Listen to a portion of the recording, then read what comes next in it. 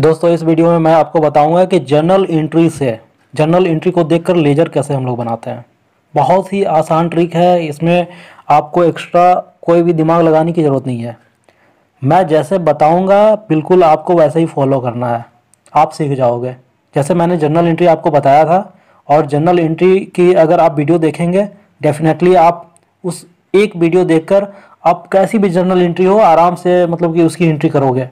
बस इसी तरह मैं जो बता रहा हूँ जर्नल एंट्री यही जर्नल एंट्री से फिर लेजर जो बनाने की जो मैं बात कर रहा हूँ, बस यही जर्नल एंट्री देखकर आप लेजर बनाओगे, वो भी बहुत ही अच्छे तरीके से। दोस्तों स्टार्ट करते हैं और आज का जो मैंने जर्नल एंट्री लिया हुआ है, ये हनी फ़ैन मुखर्जी बुक से लिया हुआ है। तो सबसे पहले है कि started business with cash rupees six thousand यानी कि छः हज़ार रुपया से मिस्टर अल्फ़ा ने बिज़नेस स्टार्ट किया।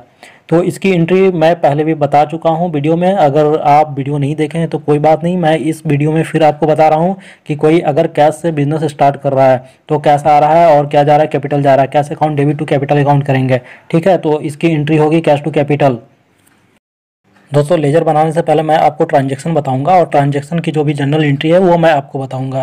तो सेकंड नंबर पे आप देखिए, यानी कि डेट इसमें दिया हुआ है, चार जनवरी 1997 को बाउट गुड्स फॉर रीसेल 500 यानी कि गुड्स परचेज किया गया है रीसेल यानी कि सेल करने के लिए फाइव हंड्रेड रुपीज़ का है। तो इसकी एंट्री मैंने पहले भी बताया था, लेकिन मैं फिर आज आपको बता रहा हूँ कि परचेज़ की जब एंट्री करते हैं तो मेरे पास क्या आ रहा है और क्या जा रहा है। यानी कि मेरे पास गुड्स आ रहा है और कैश जा रहा है। अगर हम कैश से परचेज करते हैं तो कैश जाता है मेरे से। तो मेरे पास क्या आ रहा है? गुड्स आ रहा है। तो purchase account debit to five hundred अगर गुड्स का नाम रहता है तो गुड्स का नाम हम लोग लिखते हैं। अगर नहीं रहता है तो हम लोग purchase account debit to cash या बैंक जो भी है, उससे हम लोग करेंगे।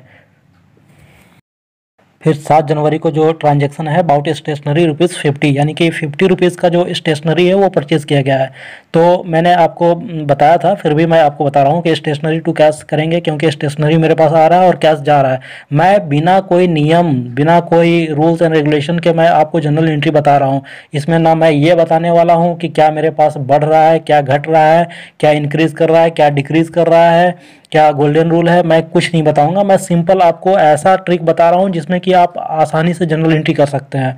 जैसे कि अबाउट स्टेशनरी की बात मैं कर रहा हूँ तो स्टेशनरी मेरे पास आ रहा है और स्टेशनरी मैंने कैश से खरीदा है तो कैश जा रहा है मेरे से। सिंपल इसकी एंट्री करनी है। Stationery account debit to cash account करेंगे हम। फिफ्टी रुपीज़ डेबिट में करेंगे और फिफ्टी रुपीज़ क्रेडिट में करेंगे। फिर ट्रांजेक्शन है दस तारीख का। Bought goods for resale seven fifty यानी कि गुड्स परचेज किया गया है रीसेल करने के लिए सेवन फिफ्टी रुपीज़ का। तो इसकी एंट्री मैं, मैंने बताया था आपको कि बाउट गुड्स यानी कि purchase account debit to cash account करेंगे और सेवन फिफ्टी जो है डेबिट और सेवन फिफ्टी क्रेडिट करेंगे। बारह जनवरी को paid wages rupees one hundred यानी कि वेजेस का पेमेंट हुआ है सौ रुपये का। तो इस ट्रांजेक्शन का जो एंट्री हम लोग करेंगे wages account debit to cash account तो मेरे से क्या जा रहा है? कैश जा रहा है और किसका जा रहा है कैश वेजेस का जा रहा है ना? वेजेस का पैसा मैंने दिया है, इसलिए wages account debit to cash account करेंगे। तो सौ रुपये डेबिट में लिखेंगे और सौ रुपया क्रेडिट में लिखेंगे। फिर पंद्रह जनवरी को दिया हुआ है कि sold goods for cash rupees three fifty यानी कि सेल किया गया है कैश से। और सेल किया गया कितने का? तीन सौ पचास रुपये का। तो इसमें आप देखिए कि आपसे, आपके पास क्या आ रहा है और क्या जा रहा है। यानी कि कैश आ रहा है। आप किसी चीज़ को बेचोगे तो आपके पास क्या आएगा? कैश आएगा। यानी कि या तो अगर चेक से पेमेंट कोई करेगा आपको तो आपके पास बैंक आएगा। और कैश से कोई पेमेंट करेगा तो आप कैश लिखेंगे, यानी कि कैश अकाउंट डेबिट करेंगे और आप क्या बेच रहे हो, कोई सामान बेच रहे हो तो टू सेल्स अकाउंट लिखेंगे, यानी थ्री फिफ्टी डेबिट होगा और थ्री फिफ्टी क्रेडिट होगा। फिर सोलह जनवरी को ट्रांजेक्शन किया हुआ है, sold goods for cash rupees three hundred.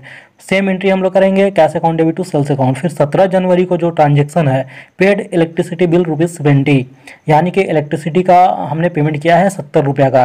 तो मेरे से क्या जा रहा है? कैश जा रहा है. और किसका जा रहा है? इलेक्ट्रिसिटी का जा रहा है ना? तो electricity bill expenses account debit to cash account करेंगे, सत्तर डेबिट में और सत्तर क्रेडिट में करेंगे.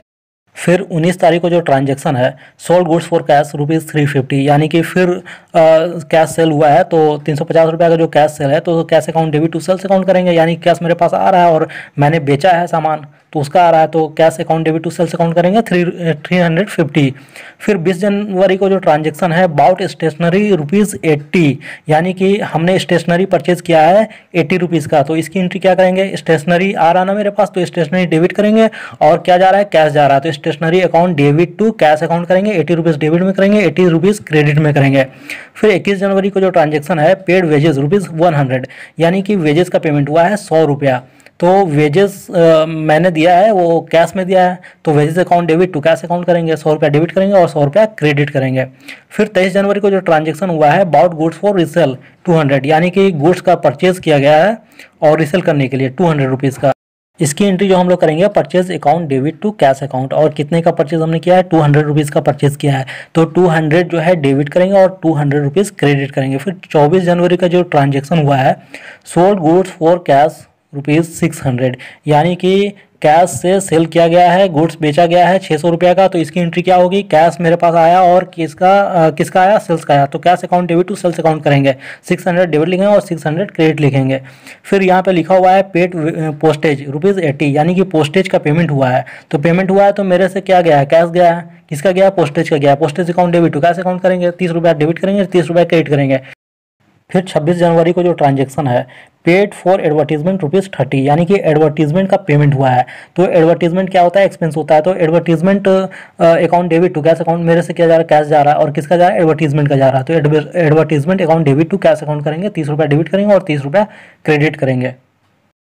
फिर थर्टी फ़र्स्ट जनवरी का जो ट्रांजेक्शन है sold goods for cash rupees seven hundred यानी कि कैश सेल हुआ है। यानी कि हमने बेचा है कैश पे। तो कैश मेरे पास आ रहा है। तो cash account debit to sales account करेंगे। सेवन हंड्रेड डेबिट करेंगे और सेवन हंड्रेड क्रेडिट करेंगे।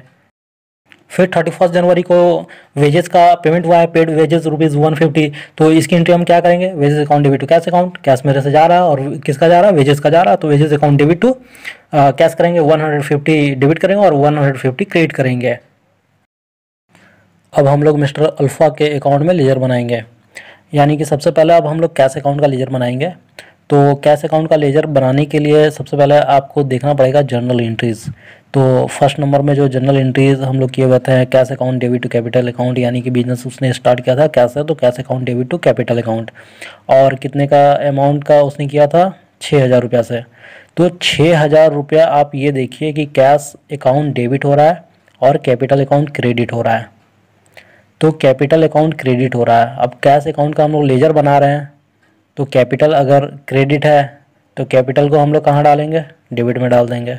टू कैपिटल अकाउंट करेंगे यहाँ पे सिक्स थाउज़ेंड रुपीज़ फिर सेकेंड एंट्री देखिए bought goods for resale five hundred तो परचेज गुड्स हो रहा है ना तो purchase account debit to cash account हम लोग किए हुए थे। तो कैश का जब लेजर बना रहे हैं और परचेज डेबिट में है तो इसको आप क्रेडिट में कर दीजिए जनरल में। तो बाई परचेज अकाउंट करेंगे फाइव हंड्रेड रुपीज़ फिर आप ये देखिए बाउट स्टेशनरी स्टेशनरी हमने परचेज़ किया। तो स्टेशनरी टू कैश किए हुए थे। जब कैश का लेजर बना रहे हैं तो स्टेशनरी अगर डेबिट है तो उसको क्रेडिट कर दीजिए। बाई स्टेशनरी अकाउंट लिखेंगे फिफ्टी रुपीज़ फिर ये देखिए बाउट गुड्स फॉर रीसेल यानी कि फिर परचेज़ की एंट्री हमने किया हुआ है। तो परचेज़ को फिर आप क्रेडिट में एंट्री कर दीजिए, सात सौ पचास रुपये का। फिर पेड वेजेस लिखा हुआ है, यानी कि wages account debit to cash account तो कैश वेजेस जो है डेबिट है, उसको क्रेडिट कर दीजिए। बाई वेजेस कर दीजिए, यानी कि क्रेडिट में एंट्री करेंगे वेजेस का। उसी तरह फिर देखिए सोल्ड गुड्स फॉर कैश यानी कि कैश से सेल किया हुआ है। तो कैश डेबिट है और सेल्स क्रेडिट है। तो भाई, जब हम कैश का लेजर बना रहे हैं तो सेल्स को देखिए। सेल्स क्रेडिट है तो सेल्स को डेबिट कर दीजिए।